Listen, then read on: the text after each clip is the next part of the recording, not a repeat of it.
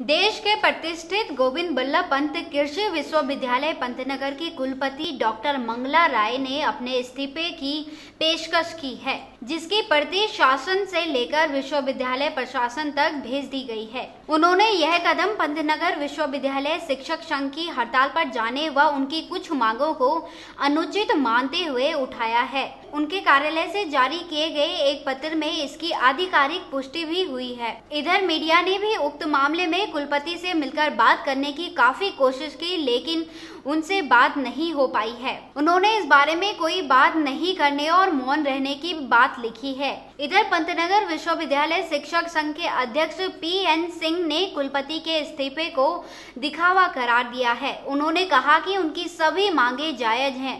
बावजूद इसके कुलपति नाटक कर रहे हैं और उनकी मांगों को नहीं मान रहे हैं। इससे पहले भी इस्तीफा देने का दिखावा कुलपति कर चुके हैं। तो हमारा मतलब यह है कि हमने जो, जो भी अपनी मांग पत्र दिया है पहले भी दिया था उसमें त्याग पद की तो कोई बात ही नहीं हम नहीं किए। हमारी एक डिमांड है डिमांड की मांग किया है उस पर कोई कार्रवाई नहीं हुई।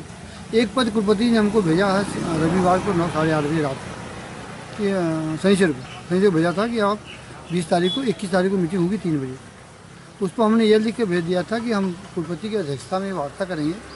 और वार्ता करेंगे उसको सोमवार को जो हमारी आम सभा होगी, उसमें आम सभा की सहमति लेने की बात करेंगे।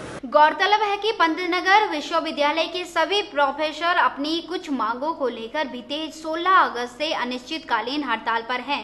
कुलपति की ओर से जारी पत्र में कई बार शिक्षक संघ से बात करने की भी बात की गई, परंतु शिक्षक संघ के नेता बात करने को तैयार नहीं है, जिससे नाराज़ कुलपति ने पत्र में आगे लिखा है कि वो आगामी जन्माष्टमी तक विश्वविद्यालय के कुलपति का कार्यभार संभालेंगे, जिसके बाद वे अपना इस्तीफा दे देंगे देवभूमि न्यूज़ हल्द्वानी